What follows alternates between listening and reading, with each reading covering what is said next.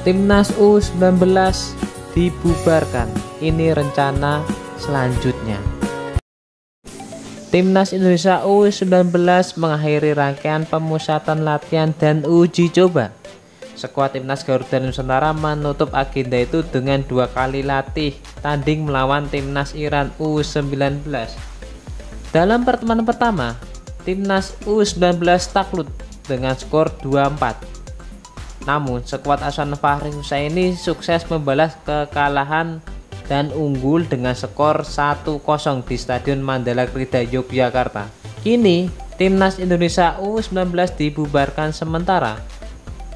Fahri lantas memberikan kesempatan kepada David Maulana CS untuk kembali ke sekolah atau klubnya masing-masing. Sementara mereka kembali ke sekolah, kan masih ada yang belajar atau masih berlatih di klubnya masing-masing. Pemain yang di klub akan melanjutkan di kompetisi Elite Pro Academy, kata Fahri. Nanti mereka kembali berkumpul pada tanggal 25 September.